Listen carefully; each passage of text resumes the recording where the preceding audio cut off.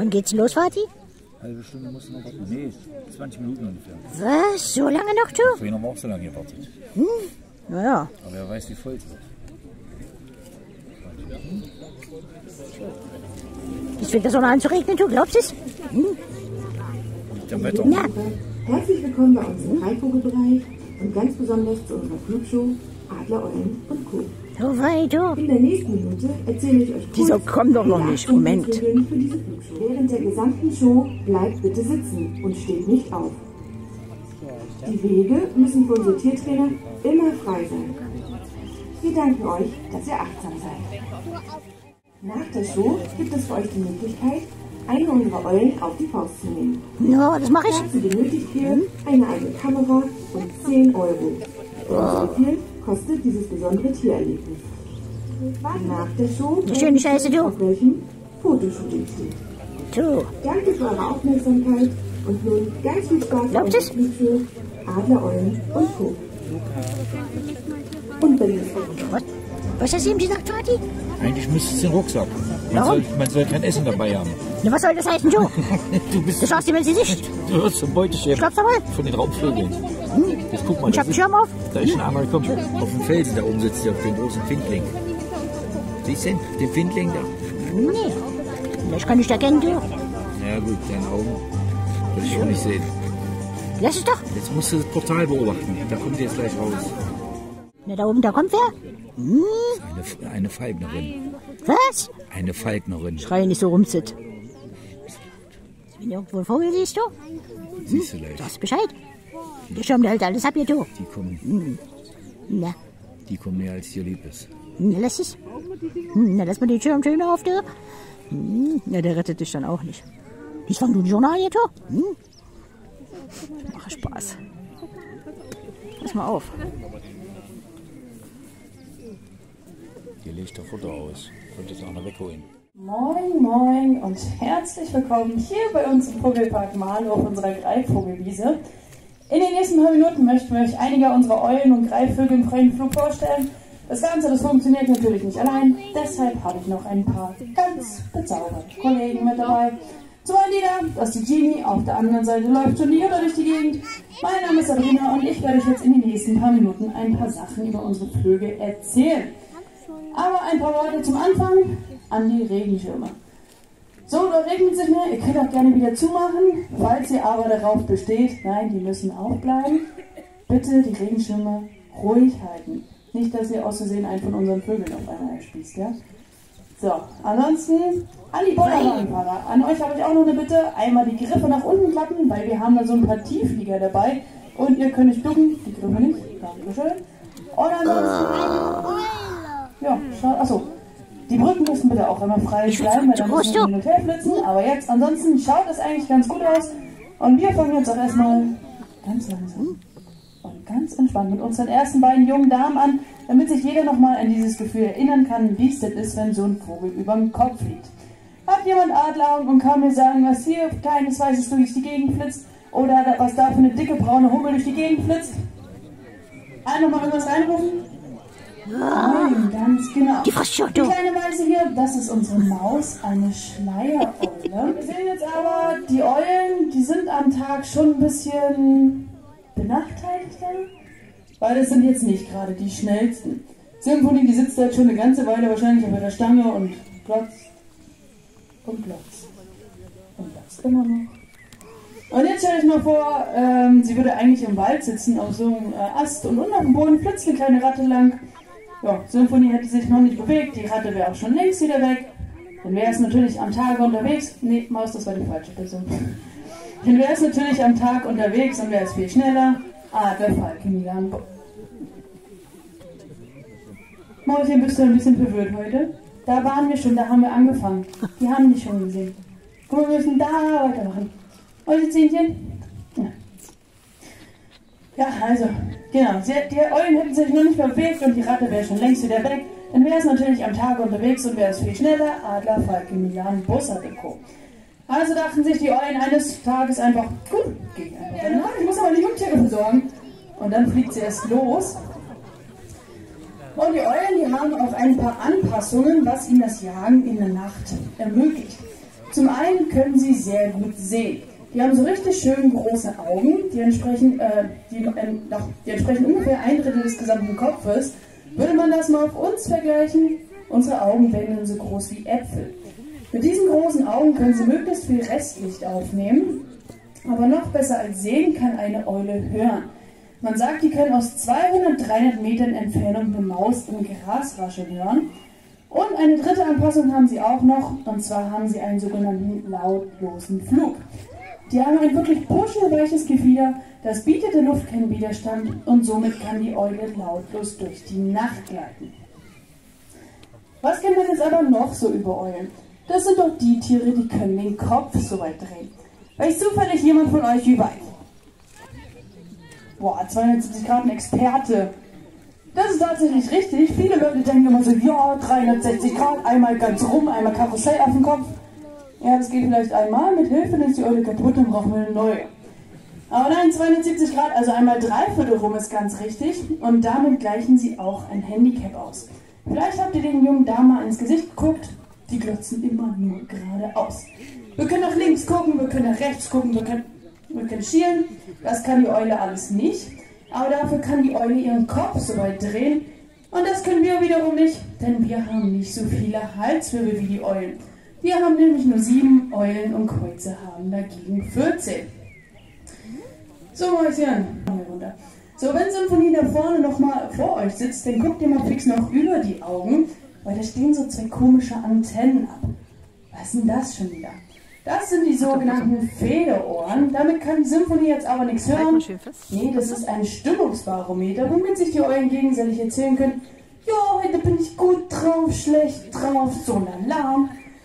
Insgesamt gibt es 14 verschiedene Stellungen dieser Federohren. Das ist aber alles so ein Millimeter Unterschied. Das können wir mit unserem menschlichen Auge gar nicht unterscheiden. Für uns ist nur wichtig, Federn aufgestellt, die junge Dame hat gute Laune, Federn angelegt, die junge Dame hat schlechte Laune. Da Symphonies Laune ist, würde ich sagen, so auf Halbmaß. Wird aber meistens besser, weil sie kann jetzt gleich in den Feierabend. Ja, weil Maus ist zu Hause und Symphonie willst du auch gleich mit? Dein Taxi ist da. Oh ja, das sieht gar nicht so schlecht aus. Ja, oh ja, das sieht gut aus, das sieht gut aus. Schafft sich, schafft sich, bisschen höher muss. Angedockt. Das war's von unseren Eulen. Je größer der Vogel, desto sensibler ist er. Und da wir jetzt eine ordentliche Nummer größer werden, heißt es für euch, alle schön ruhig bleiben. Nicht aufspringen, nicht die Arme in die Luft reißen. Du musst keine Angst haben, nicht versuchen, den Vogel aus der Luft zu fangen. Ihr lacht, das sagen wir nicht umsonst. Das haben wir hier alle schon erlebt. Und zwar kommen wir jetzt zu unserer Arizona, kurz auch Ari genannt. Und wir machen jetzt einfach mal ein kleines Experiment, weil das Problem war, oder mehr oder weniger das Problem ist, dass sie die ganz vielen bunten Leute, die hier auf den Tribünen sitzen, seit zwei Wochen komplett gruselig findet. Oh, muss Frechheit. sagen, sie ist schon neun Jahre alt. Sie kennt Besucher, sie fliegt auch schon seit neun Jahren hier rum. Jedes Jahr aufs Neue kommt wieder dieser Punkt. Besucher? Nee, die wollen mich auffressen, ich kann da nicht hinfliegen. Deshalb haben wir jetzt viel mit ihr auf der Wiese trainiert. Und wir gucken jetzt einfach mal, ob sie sich heute traut, auf direkten Flug zu euch runterzukommen. So, Ari. Hast du den Mut angefuttert? Magst du mal runterkommen? Oh ja, so, das sieht schon mal gar nicht so schlecht aus. Auch bitte bremsen, bremsen, Fahrgestelle auffahren. Oh, das sah ja gar nicht so schlecht aus. Mensch, ist ja gar nicht, war gar nicht so schlimm, oder? So, bei Adlern, da hat man ja immer so ein paar Eigenschaften im Kopf. Stolz, anmutig, frei, unabhängig, kühliche Lüfte und so weiter und so fort. Und genau deshalb werden Adler auch ganz gerne mal als Symboltiere verwendet. So haben wir zum Beispiel unseren Bundesadler in Deutschland. Und unsere Adel hier, die ist das Wappentier der USA. Und zwar ein Weißkopfseeadler, ganz genau. Hier, die dachte sich vor ein paar Jahren auch schon mal, ach ja, Inselurlaub wäre eigentlich eine ganz feine Sache. Ich fliege einfach mal eine Woche nach Rügen. Okay, ist im ersten Moment nicht so das Problem, wenn unsere Vögel sich denken, sie machen mal einen Waldspaziergang, denn wir haben ein paar Sicherheitsvorkehrungen getroffen. Und dafür gucken wir einfach mal an die Beine und Füße. Da hängt so ein bisschen Zeug dran. Zum einen hat API einen Sender. Das ist dieses kleine grau-schwarze Teil, was da unten mit dran baumelt. Das heißt, wir holen dann einfach unsere Technik raus und dann können wir ihn orten. Das Problem war, den Sender, den haben wir gefunden, nur war der Sender halt nicht mehr am Vogel dran. Der Sender irgendwo da hinten im Wald von Ari keine Spur. Ja, das hat die Suche ein bisschen erschwert. Nach ein paar Tagen kam aber Gott sei Dank der rettende Anruf. Ähm, entschuldigen Sie, hier steht so ein komischer Vogel bei uns auf dem Dach. Können Sie mal bitte herkommen und sich das angucken? Ja, dann sind wir nach Rügen gedüst. Ari saß da auf dem Dach. Wusste selber nicht so genau, wie sie da hingekommen ist. Und dann haben wir sie zu uns auf den Handschuh runtergerufen. Und dann mussten wir sie auch irgendwie noch nach Hause tragen. Das können wir auch, weil unten an den Beinen hat sie noch diese zwei Lederbänzel. Das sind die sogenannten Geschüri. Die können wir einfach festhalten. Das ist wieder Sicherheitsgut für all unsere Vögel. Und dann können wir sie wieder nach Hause tragen. Und eine dritte Sicherheitsvorkehrung haben wir auch noch.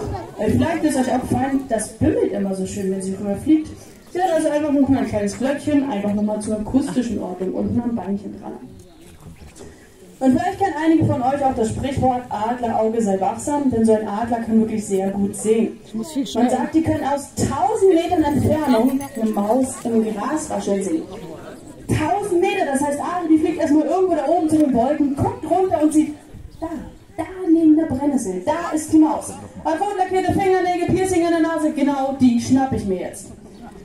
Zahlen und Fakten sind eine tolle Sache, ist allerdings schwer nachzuvollziehen. Deswegen stellen wir uns einfach mal vor, wir lesen eine Tageszeitung. Wir sitzen hier unten, wie jetzt auch. Die Tageszeitung allerdings, die ist dort oben am Burgtor angepinnt und ihr könntet die perfekt lesen. Ihr braucht keine Brille, kein Fernglas. Oh, ich werd doch richtig drin durch, du. Es. Hm, warte, du. Die hätte mich fast gefressen, du. Ari, du kannst dein Adler Keine auch Angst, hast Friss dein dich nicht. Guck mich nicht so an, du. Na, Schnapp sie dir. Nein, doch nicht? Okay. Ari, du hast heute einen super Job gemacht, du kannst. Hilfe, du. Oh, ja, das sieht gut aus. Ja, wow. So, Vorsicht, das ist ein Stein im Weg.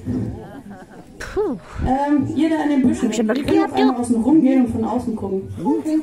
So, ja, das war's von unserer Ari. Tju, ich weiß ja auch nicht, du. Hm? Bisschen zu gefährlich, du. Ja, du weißt, heute ist Erdmänchentag, ja? Pass auf, lass es. Wir werden jetzt zwar eine Vati. Nummer kleiner, aber dafür umso musst mir doch mal helfen, du. Hm? Und zwar kommen wir ja zu den schnellsten. Greifvögeln der Welt. Auch das noch, du. sein? Habe ich. Falke, ganz genau. Ist ja auch so gefährlich? Man sagt, der schnellste heimische Falke ist der Wanderfalke. Der kann Spitzengeschwindigkeiten bis zu 360. Oh, da ist er auch schon. Und zwar ist das unsere Sherin und das war unsere Sherin. Coole Nummer, oder? Nee, die dreht hoffentlich wieder um, weil die Genie, die hat da schon so eine komische Angel in der Hand. Was hat die jetzt vor? Fliegenfischen? Nee, das ist das sogenannte Federspiel. Das heißt, unten dran hängt eine Beuteattrappe. Die fangen die Beute. Ist ja schön und gut. Shahin, lass die Kuh in Ruhe. Äh, Jutta? Genie? Äh, Jutta? Shahin lässt sich gerade die Kuh schmecken. Ja, ganz. Heißt also, Attila steht vor der Schlange. Das weiß, das reflektiert das Sonnenlicht. Die Schlange ist geblendet und Attila hat wieder ein paar Sekunden mehr Zeit, der Schlange den Garaus zu machen. Aber jeden Tag Schlange schmeckt natürlich auch irgendwann nicht mehr. Deshalb fressen diese Gaukler auch mal andere Sachen, wie zum Beispiel Antilopen. Was? Antilopen? Wer schon unsere großen Mendesantilopen auf der Afrika-Anlage gesehen hat, der fragt sich jetzt vielleicht, wie soll das funktionieren? Ja, das macht unser Attila jetzt nicht, sondern er jagt die kleinsten Antilopen der Welt, und zwar die sogenannten Dick-Dicks. Und oft werden wir jetzt auch gefragt, wie lange dauert es eigentlich, so einen Vogel zu trainieren? Das ist ganz unterschiedlich, kann Wochen, Monate, Jahre dauern. Das ist natürlich ganz unterschiedlich. Was wir nicht wollen. Dann bestrafen wir ihn dafür nicht, sondern wir ignorieren dieses Verhalten und warten auf den richtigen Moment wieder, äh, um ihn belohnen zu können. Aber du hattest deinen Auftritt. Oh ja, das, das sieht cool aus. Und zwar kommen wir jetzt zu unserem Bestattungsunternehmen. Wer kann das sein? Ein Geier, ganz genau. Wir dachten uns aber, ein Geier ist viel zu langweilig, deshalb haben wir gleich vier Stück dabei. Einmal die Brunhilde auch Bruni genannt. Den Manfred, auch Manni genannt. Die Monika, auch Moni genannt. Und die Renate. Sie wird nur Renate genannt. Und wenn die Geier jetzt rauskommen und sollte sich so einer mal zu euch auf die Bank setzen, versuchen Kontakt aufzunehmen. Erstens bitte nicht erwidern. Und zweitens, totstellen ist auch eine ziemlich blöde Idee. Das geht bei einem Arzt, was ja ganz schön mal nach hinten los. Einfach ja, so ein bisschen nett lächeln, kleinen Finger bewegen. Hauptsache, die Geier denken nicht, ihr liegt hier schon länger. Achso, noch die fliegen wieder ein bisschen tiefer, also auf Bücken ist hier keine Schande. So, das ist Nummer 1, das ist unsere Brunhilde. Nummer 2, 3 und 4. Die haben die Bahn genommen, die kommen ein bisschen später. Oh nee, da kommen sie. Das sind unsere Weißrückengeier aus Afrika. Was können die jetzt so Tolles? Sieht aus. Viele Leute sagen jetzt aber, ach nee, Geiers, das ist jetzt wirklich euer Ernst. Sie sind doch eklig, die stinken, die fressen totes alles Zeug. Muss das sein? Ja, das muss sein. Weil euch mal was verraten? Geier sind überhaupt nicht eklig, Geier stinken auch nicht. Geier sind super reinliche Tiere. Die mögen es nämlich auch nicht, wenn die Gefieder vom Blut unsere sogenannte Gesundheitspolizei in der Welt. Wir stellen uns mal vor, in Afrika liegt so ein toter Elefant. Da kann jetzt keiner von uns hinfahren und den begraben. Also was passiert? Familie Geier kommt und frisst den auf. Das ist ganz wichtig, dass sie das tun, denn somit kümmern sie sich darum, dass Krankheiten und Seuchen eingedämmt bleiben. Jetzt gibt es allerdings ein kleines Problem. Und zwar sind alle Geierarten auf diesem Planeten stark gefährdet vom Aussterben bedroht. Ja, wer schuld? Der Mensch. Wir kommen nochmal zu diesem toten Elefanten aus Afrika zurück. Warum ist er jetzt gestorben? Natürlich wegen den Wilderern, die haben ihn erschossen, um an sein Elfenbein zu kommen. Und dann haben sie den da einfach liegen lassen. Ja. Jetzt kennt man ja dieses typische Bild von den Geiern. Die fangen erstmal langsam an, über den Kadaver zu kreisen. Das ist ja prinzipiell ein sehr schönes Bild, aber leider wird genau dieses schöne Bild den Geiern zum Verhängnis, denn das sehen wir die Wilderer. Und die denken sich, ach nee, wenn Familie Geier da so drüber kreist, dann verpetzen sie uns bestimmt an die Wildhüter, an die Polizei. Wir kriegen eine Strafe, wir müssen ins Gefängnis.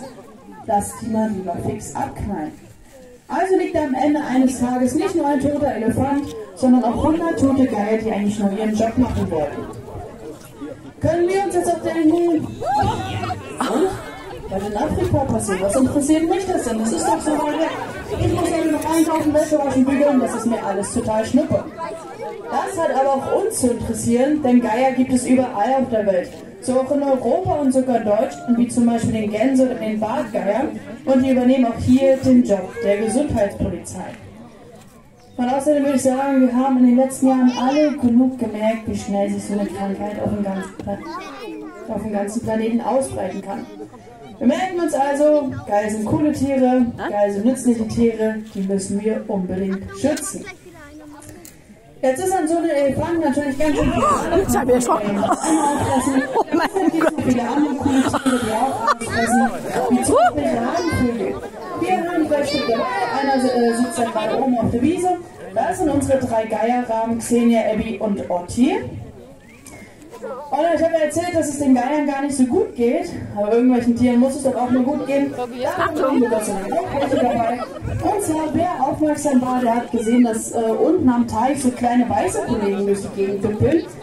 Das sind unsere Kuhreiher. Kuhreiher, das sind die Vögel, die immer auf den Rindern drauf sitzen und sich dort die Insekten runterpicken. Und den Kuhreihern, denen geht es richtig gut, weil die konnten sich mittlerweile auf der ganzen Welt verbreiten. Und nicht so besonders häufig da anzutreffen, wo der Mensch ist, weil wo der Mensch ist, sind meistens auch Kühe. Das heißt, äh, genau, dass sich die Kuhreiher dort einfach immer äh, an den Rinden halten können und auch immer genug zu fressen hatten. So.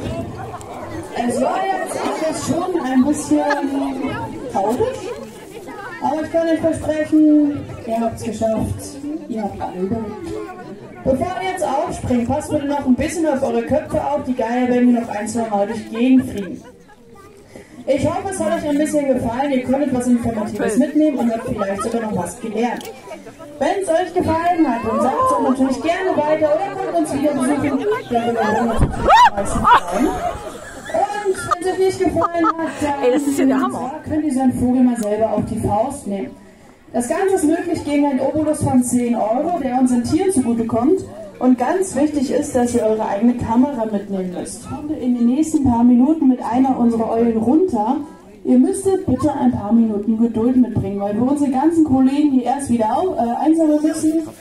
Dann geht's auch schon los. Und zwei Bitten habe ich noch zum Schluss.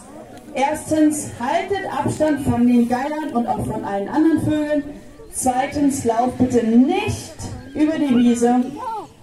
Und dann wünschen wir euch noch einen schönen Tag hier bei uns im Vogelpark.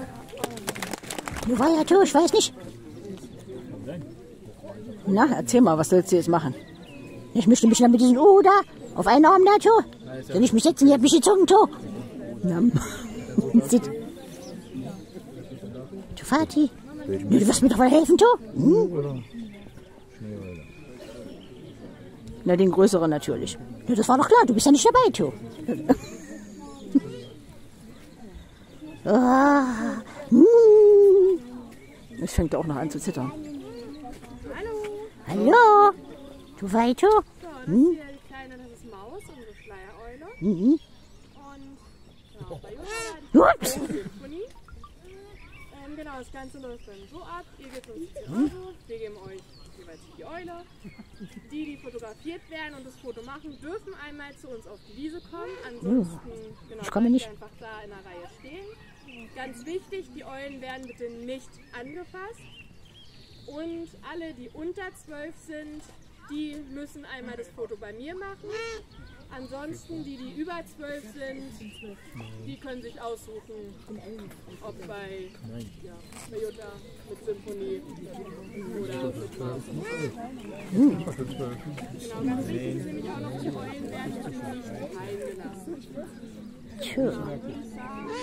dass wir einmal zwei Reihen machen. Einmal die, die hier beim Maus das Foto machen. Und dann können wir da einmal die Reihe machen. Für, Tja. Ihr bleibt die, Klei- die, die kleine beim bleiben Moment. Rück mal ganz kleines Stück, Vati.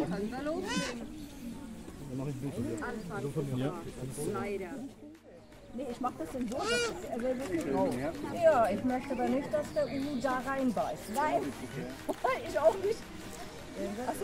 Übrigens.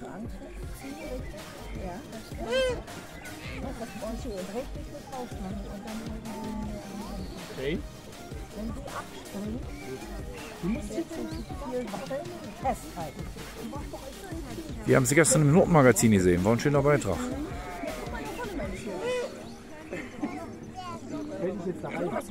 So, ich denke mal. Läuft. Perfekt.